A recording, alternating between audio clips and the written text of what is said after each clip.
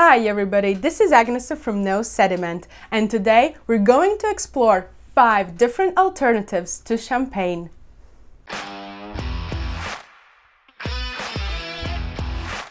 One of the greatest ways to celebrate, no matter what the occasion, is with glass of bubbles, and champagne is the obvious choice. Yet the world offers so much more with high-quality sparkling wines that we must not miss.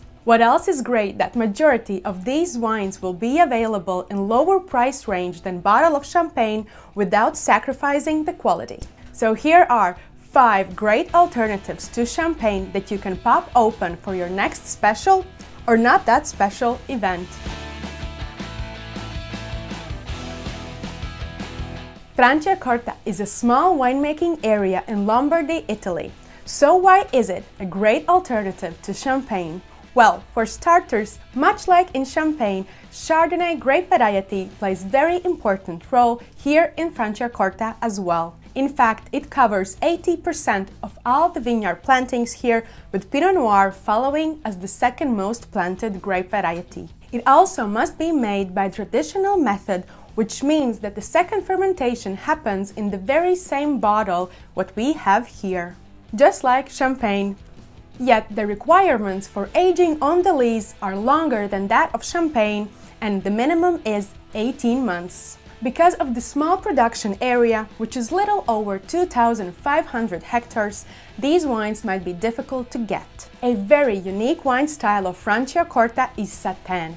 These wines must be made from only white grape varieties and they will have much lower pressure in the bottle, making them silkier and creamier on the palate and showing notes of white fruits and blossom.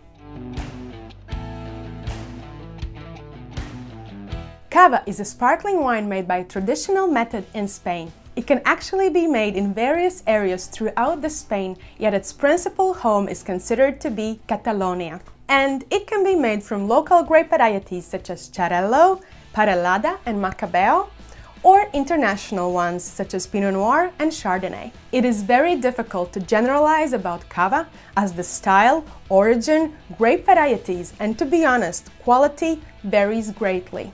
I am usually not a fan of Brut Nature or Zero Dosage wine styles, yet when it comes to cava, I like them a lot. It is probably because these wines tend to show riper fruit profile on the nose, and while the acidity is still very refreshing, it feels somewhat rounder than that of champagne. The real yeasty characters will be expressed in longer aged cavas, such as Gran Reserva and Cava de Paraje. The next wine, unfortunately, I was not able to get my hands on English sparkling wine, probably because of Brexit. But anyone who loves clean, razor sharp, pure fruit champagnes must try English sparkling wines. They are usually made from Chardonnay or Pinot Noir grape variety, just like top champagnes, and the second fermentation also happens in the bottle.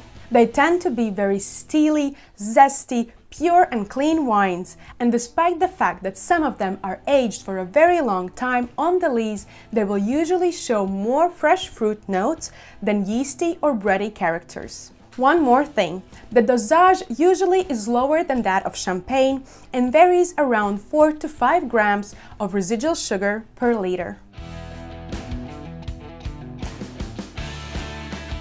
Cap Classique from Cape, South Africa is a traditional method sparkling wine usually made from Chardonnay and Pinot Noir.